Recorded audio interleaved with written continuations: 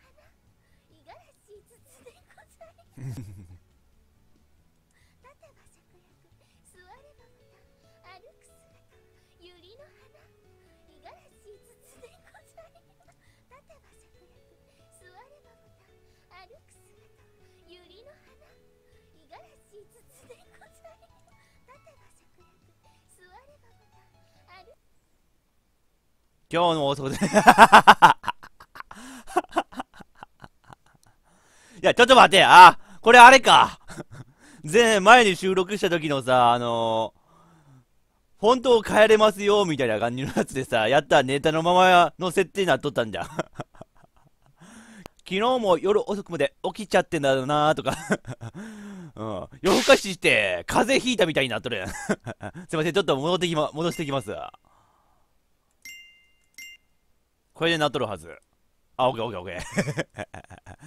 びっくりした。風邪ひいたかと思ったったわ。うん、よっしゃ、今日もやっていきまーす。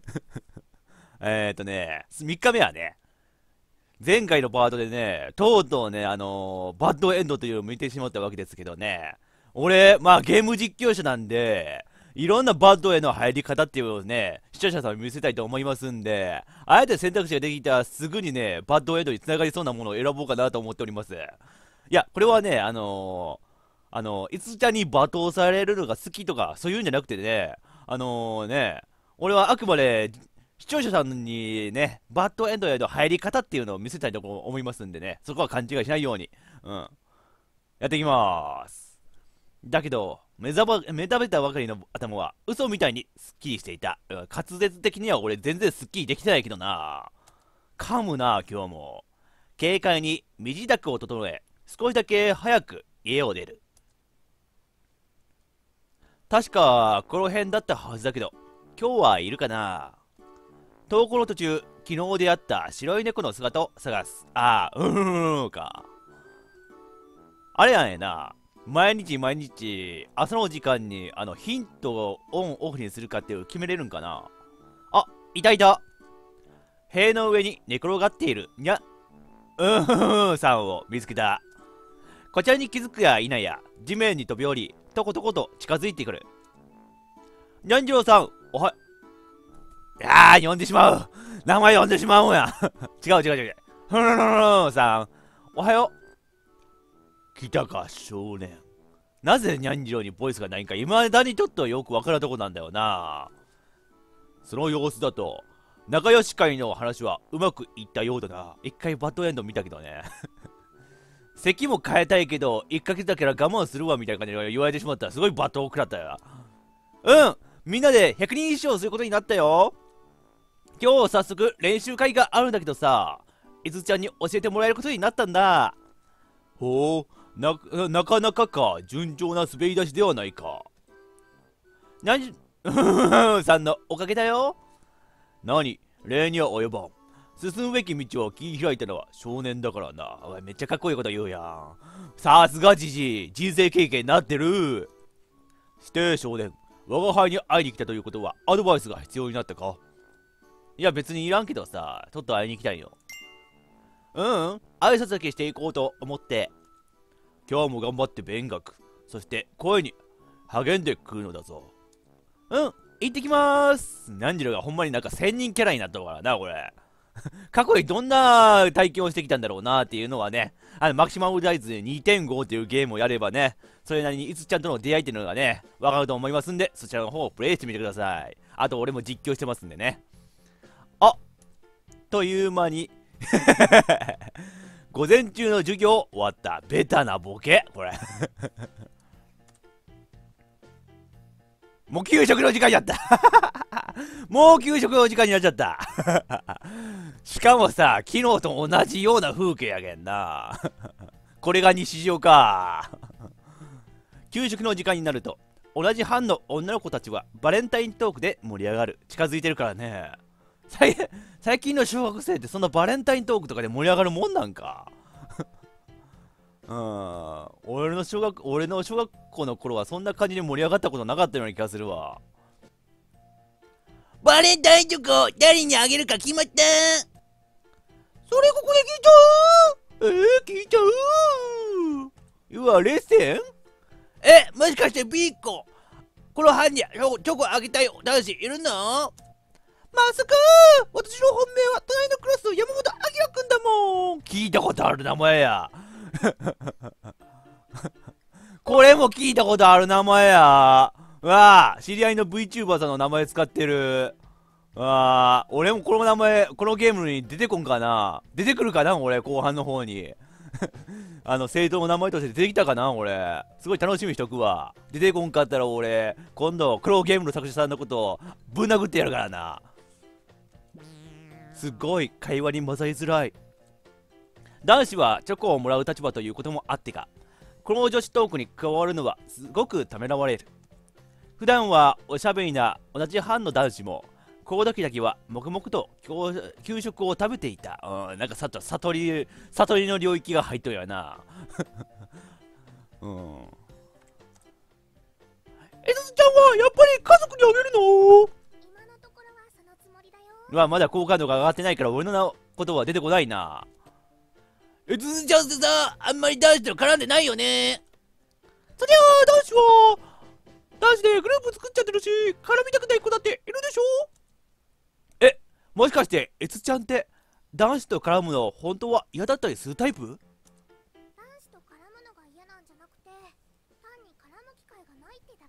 よ。よっしゃーそういうわけじゃないよな。うん。別に俺のこと嫌ってるわけじゃないんだよな。俺が変なことせんかったら別に嫌われることはないんだな。はい。ほそのあからさまなさあからさまなさため息？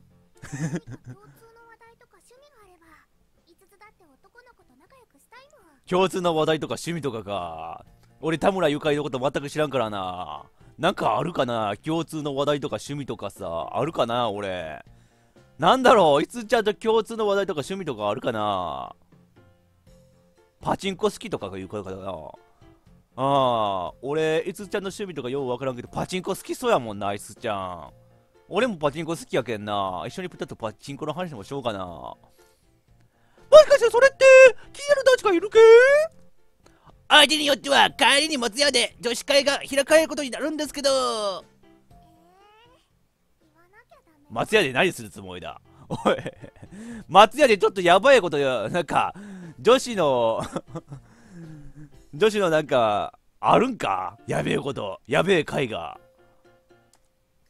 いつちゃんの気になる男子って誰なんだ？おるんか？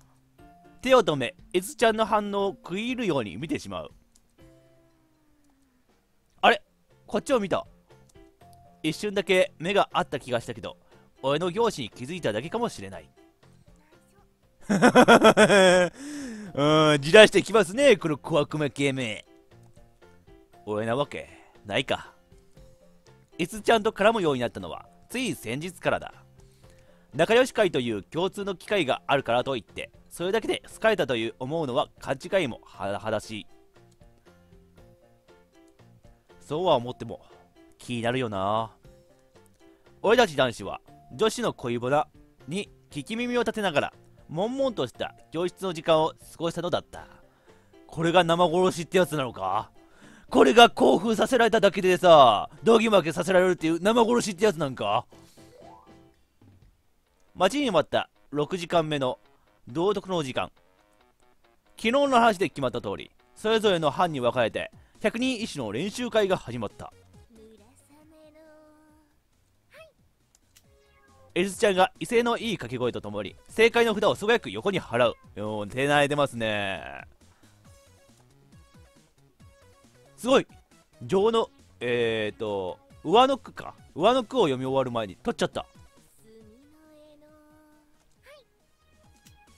今度は札をまっすぐ突き飛ばして取った？目をつけた札を先に手で囲って下の句が読まれた瞬間に素早く取るなんて。5つ百列拳俺たちの班ではいつちゃんが無双していた。さすが地元最強を自負するだけあって試合はいつちゃんの圧勝で終わった。そんなに5つちゃんって100人一首のキャラだったんか？俺全然いつちゃんのこと知らんかった。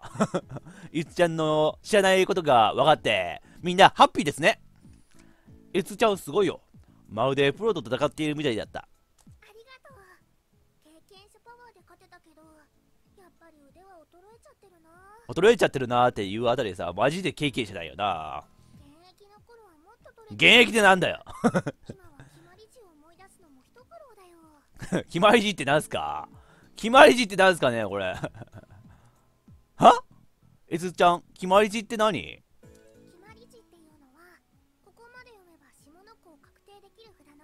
ああ、そんなのがあるんじゃ。例えばさっきの試合で5つが取ったこの札がそうだよ。村雨のなんて読むかわからん。ななななななななな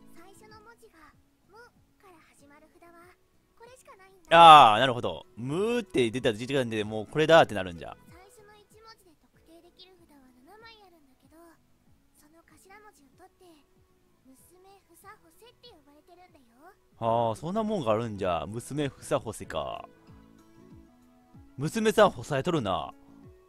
だから初めは一時決まりの札を1番に覚えれば確実に7枚は取れるようになるんだ。うーんなるほど。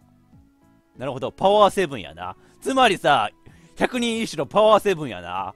マジック・ザ・ギャザリングで例える マジック・ザ・ギャザリングで例えるけどパワーセブンやなそれつまり。なるほど。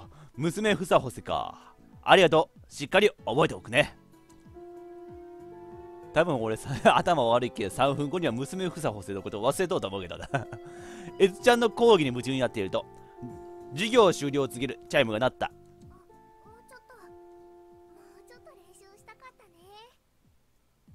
うーん。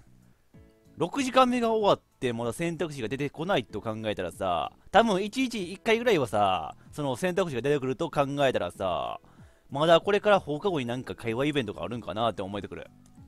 片付けを始めるいつちゃんに俺は思い切って声をかける。おっと俺。おっと積極的になってる俺。だからこそ選択肢って開けるかもしれないな。わあマジか。途中まで一緒に帰らないとか。うおー俺積極的やな。リアルの俺とはもう違いだ。リアルの俺陰キャだからこんなに一回いけないわ。俺もまだ覚え足りないから帰りながら教えてほしいんだ。いいよ。5つも結構忘れちゃってるし覚えながら一緒に帰ろう。よなるほど。帰りの帰りの時間帯で何か選択肢が出ると見たねこれは。本当？ありがとうやったー。いつちゃんと下校できるぞ。うわ下心丸出しのセリフだ。勇気を出して誘ってよかったよかった小さな一歩だけど確かな一歩と実感して心の中でガッツポーズをしたのだった。ギャルゲー的なイベントやなほんまに。初めていつちゃんと歩く帰り道。しばらくは百人一首の句を言い当てっこしていたけどいつの間にか話題は明日の授業内容になっていた。なんだ？明日なんか特別な授業あったんか？明日の体育はプールの授業だったよね。忘れずに水着用意しておかなきゃ。うわ水着。うわいつちゃんの水着水着すぎだったら出てくるんじゃ次回次の日出てくるんじゃみんな。これは次回のパートは必見ですね。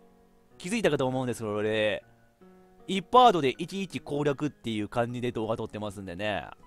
つまり次のパートで水着会ですよ皆さん。多分フローラル小学校の水着はね結構自由だと思うんでね。すく水とかじゃなくてさなんか結構可愛いのが出てくると思いますんで必見ですね。うちはうちは屋内プールだからこの時期にも泳げるのはいいよね。そういえば2月じゃ。そういえば2月かこれ。2月に水泳の授業やる学校だけあるか？ないだろそんな学校。マジでそんな学校ある？豪華やなフローラル小学校。温水だから寒くなくていいけど5つ泳げないからな。あほうなんじゃ。わじゃあ逆にさこっちから泳ぐ練習をしてあげるっていうか泳ぐ練習の練習先生になればいいんじゃ。わ来たー！そうだよなそうなるよなそれなら俺が教えてあげるよ。こう見えて泳ぐのは得意なんだ。ちなみにリアルの刹那圭介は割と泳げるぞ。泳げるの？すごいね。でもいいの？5つ本当の金槌だよ。浮かないで沈むよ。泳げないサイヤ人など必要ないって言うてせベジータに空に投げられて空でパーンされるぞお前。汚ねえ花火だ。お安いご用だよいすちゃんには100人一首を教えてもらったしそのお礼だと思ってさ。ありがとう。明日のプールがちょっとだけ楽しみになったかも。それって？5つ。男の子とこんなに仲良くしたのって今までなかったから。これは来たで。男の子と仲良くしてないってことはさ男の子と絡むきっかけがない。つまり男性と話すという経験値がない女の子。これは落とせるで。やれるで節け。ぐいぐい行け。だから行けばわかるさ。来たわ。他のとの男性との経験がないからさ。これが新鮮に感じ取るタイプのやつじゃ。これはいけるで。これはものにできるで節け。俺もいすちゃんと一緒にいると楽しいし嬉しい。わ好感度が上がってるな。好感度の目がぐんぐん上がっているのが俺には見えるな。お互いに照れ照れ笑いを浮かべる。ここなしか普段よりも距離が縮まっている気がした。おお大胆に行くねこれ。何かアクションを起こしてみようかなと。だんだん切な圭介がやりまに見えてくる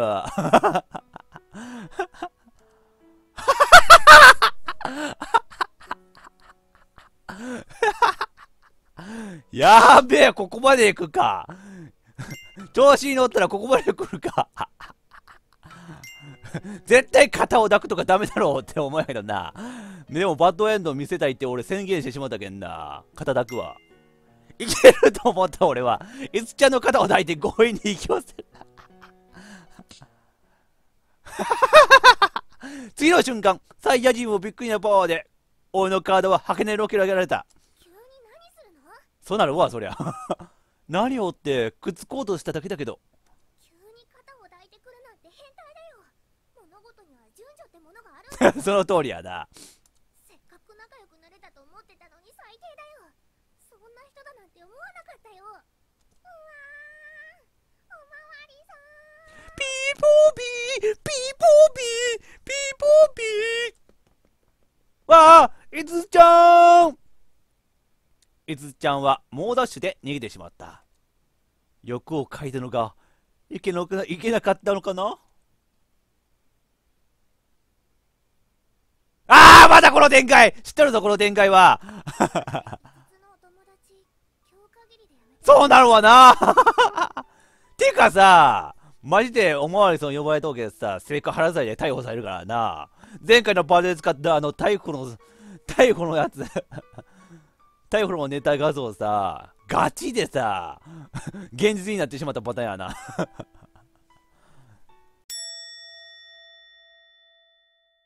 一応ね、あの、バッドエンドに入ったら入ったで、えー、っとね、あ、タイトルの方だったっけ？タイトルの方にあったあの CG のやつがね追加されよったみたいなんで、まあ、一応それを埋めるっていう意味にもなってるわけですねこれ。選択肢。間違えた選択肢を選ぶってことは。手つなぐらいはいいんかな。思い切っていすちゃんの手をあーっとまた5時してる。5時報告員が発動します。あーでも結構このゲームクリアした人もおるらしいけんさ。もうこの5時の情報をさ知っとる人おるんかな？まあ一応スクショ撮ってまあ5時のあれをねちょっと報告しとこうだな。気づいてない人もおるかもしれんけんな。お S ちゃんはびっくりした様子で足を止めた。なんか嫌がっとるとは違うななんか。お？これはちょっと嫌がっとるというベクトルではなさそうな気がする。せっかく仲良くなれたんだし手をつないで帰れたなーって。ん？ん前よりは仲良くなったのど。でもメイメイ君とはただのクラスメイトだし 恋人でもないのにそういうのはやめてほしいな。ごごめん明確な気絶な言葉に俺は手を離す。5つ先に帰るね。さよなら。逃げるように書き出すいつちゃんの背中を見た瞬間俺の心は後悔の罪悪感で折れ返った。あれこれバッドエンド2つのパターン？あーバッドエンド2つのパターンだった そういう感じのやつもあるんじゃ！いや待ってなんで俺セクハラで3回も逮捕されたん？前回のと合わせてなんで俺セクハラで3回も逮捕されたんだ？あかんで、前科3班しかも全部セクハラってなんやねん、俺。あかん人間になってきた。笑い事じゃないけどな。わかった、なんもせんわ。下心を見せちゃあかんわ、このゲーム。いつちゃん結構ガード硬いわ。やっぱり、やめておこう。頭に浮かんだ横島な気持ちを振り払う。いつちゃんはあっちの道だったよね。T 字路に差し掛かったところで足を止める。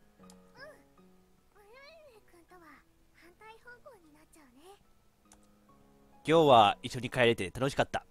それと、百人一首も教えてくれてありがと5つも楽しかったよまた明日学校でねう。バイバイ。バイいつちゃんと手を振り合って別れる。夕焼け色の地面を伸びる影は一つになってしまったけれど、俺の心は満たされて、とても穏やかだった。まあ最初の方ではこれで満足してしまう。少しずつだけど、着実に仲良くなれてる。校長していけば、きっとバレンタインチョコだって、もらえるといいな明日はプールの授業だし、講義会に頼れるところを見せておきたい。